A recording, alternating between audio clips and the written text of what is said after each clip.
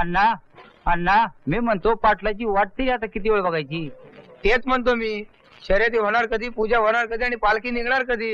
अहो देश मावळताना रीतीप्रमाणे पालखी परत गाभाऱ्यात यावी. पाटलानं निरोप धाडला होता का? धाडला होता की? एक नाही दोन नाही तीन वेळा निरोप पाठवला. काय बी झाले तरी देवाचा नियम मोडून चालणार नाही. काय करावं म्हणता तुम्ही? आता पंचांनी मिळूनच काय ते ठरवावं? आता मी काय सांगू? का हो मास्तर? काय म्हणता तुम्ही? मी नवीन माणूस आहे मी काय सांगणार? तसं नाही. तुम्ही शिकली सवरलेली म्हणून विचारत्यात नाही गावाची देवाची रीत मोडता का म्हणे असं आपलं मला वाटतं. आता कसं? मग पंचांपैकी बसवा कुणाला तर पूजेला. पंच कशाला? कुणीतरी वडीलधारी माणूस पूजेला बसलं म्हणजे झालं. मग विठ्ठलराव तुम्हीच बसा की. म्या? काहीतरीच अहो पण आता पण नाही आणि परंतु नाही. पंच मंडळी ठरवले सर कार अहो पण पाटील काय म्हणतील? ते सारं आम्ही बघून घेऊ.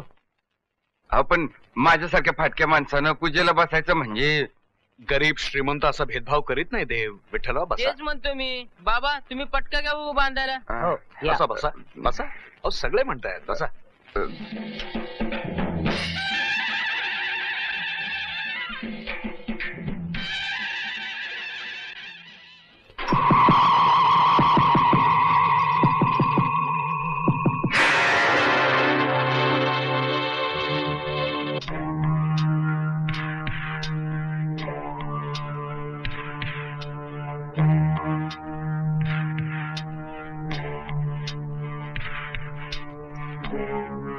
कोण बसलाय तो पूजेला?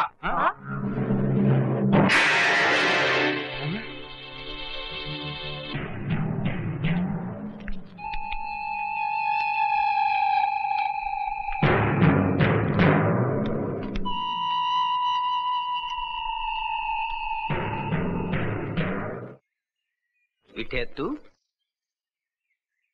जकास. नव्या माणसानं पूजा केल्यामुळे देवाला पण बरं वाटलं असेल आज. काय ना तू काय करशील? समजाने भरीला पाडला मला म्हणून मी पाटलाचा पटका बांधला. हा? हा. मी मेल्याचं समध्या गावाला कळलं पण मला कसं कुणी कळवलं नाही अजून? असं कोड्यात कशा पाय बोलता पाटील? अहो तीन निरोप धाडलं. घंटा दीड घंटा वाट बघितलीच की आम्ही. आणि दोन मिनिटासाठी घाई केली. हा? हा. आता तू काय करशील? उगा गैरसमज कशा पाय पाटील? उत्सवासाठी देणगी मागायला पाटलाकडे. हा? आणि पूजेला? आणि वर आमचाच गैरसमज. करा करा पूजा करा. पण पाटील गावची रीत तुम्ही म्हणून सांगा आम्हाला. आमच्या पंजानं घातलेली रीत. पोरापरीस थोरांना पण कवापासून शिकवायला लागला तुम्ही मास्तर? ए भटजी आता तू काय करशील? पाटील पूजेला बसा. अजून सुरुवात काही झालेली नाही. परसाद घरला पाठवून द्या आमच्या. या टायमाला घरी बसूनच परसाद खाऊ आम्ही.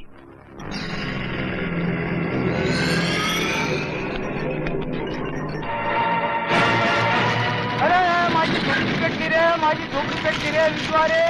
अरे माझी झोपडी पेटली रे. अरे कोणीतरी विजवा रे. अरे पाण्याला पाणी.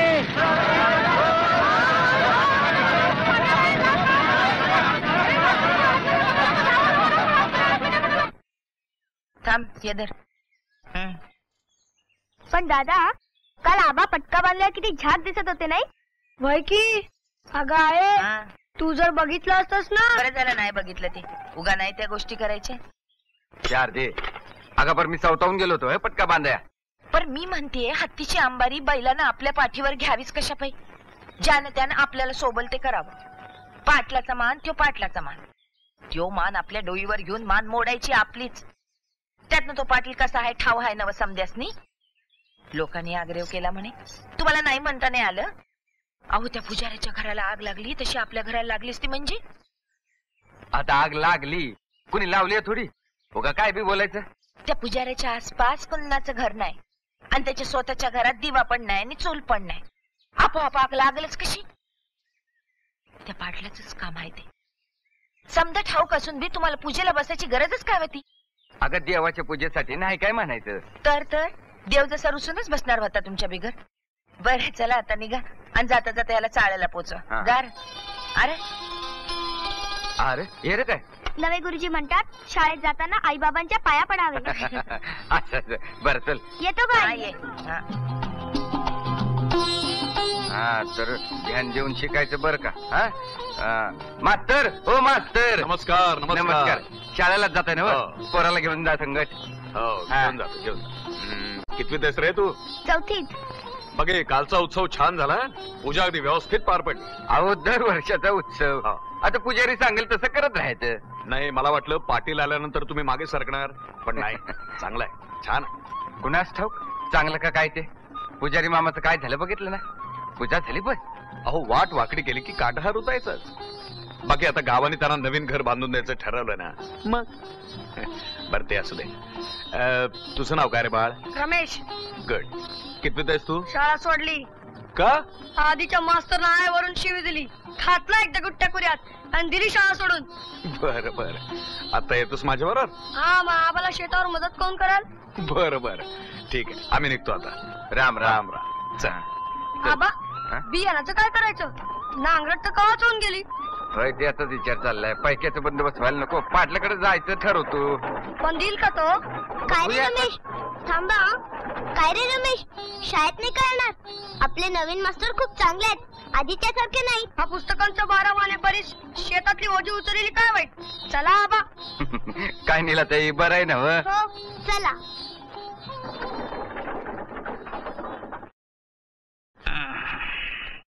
गाव पुजाऱ्याला नवीन घर बांधून देते. चांगलंय. त्याच्या डोक्यावर छप्पर नको. शंभर रुपये पाठवून दे त्याला. पाटलाच्या ऐवजी दुसऱ्याच्या हातून पूजा करण्याची शिक्षा देवान दिली त्याला. झालं ते झालं. त्याला आपण नाही मदत करणार तर मग दुसरं कोण करणार? हा? नाना आता तू काय करशील? सांग. सांगा.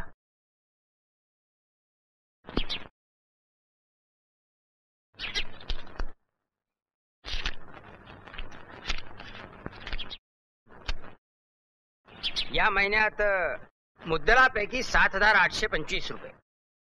बरं व्याजापैकी संताजी दामाजीकडून प्रत्येकी दोनशे रुपये.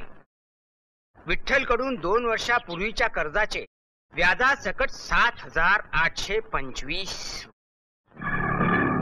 मालक विठ्ठलकडून पै न पै वसूल करू. हम्म. आणि यंदा कर्ज देऊ नका त्याला. देवाची पूजा केली आणि त्यानं.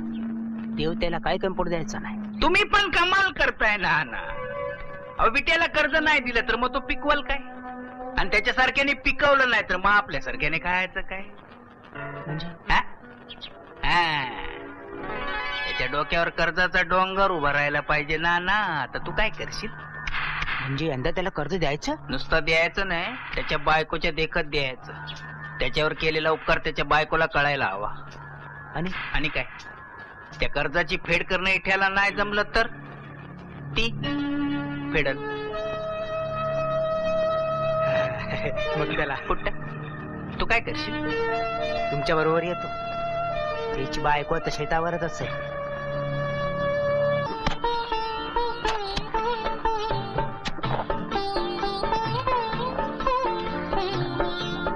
ए रमेश चला न्यारी चला. हे घ्या